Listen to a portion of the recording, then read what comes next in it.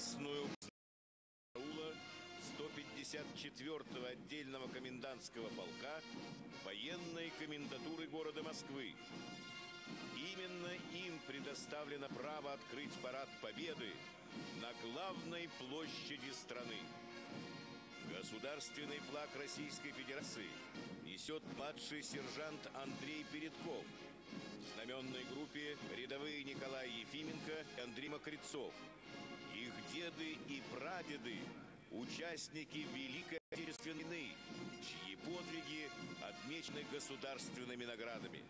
Командир знаменной группы государственного флага старший лейтенант Максим Малахов, командир роты почетного караула. Знамя Победы в руках младшего сержанта заместителя командира взвода роты почетного караула.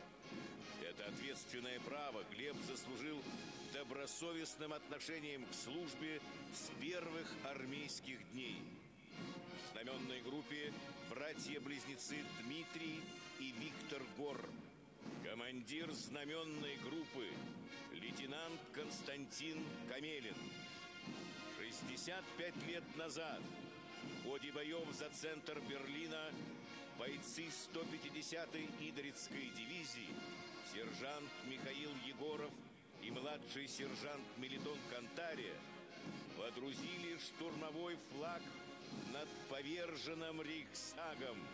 Именно этот флаг – увековечен в истории как знамя победы.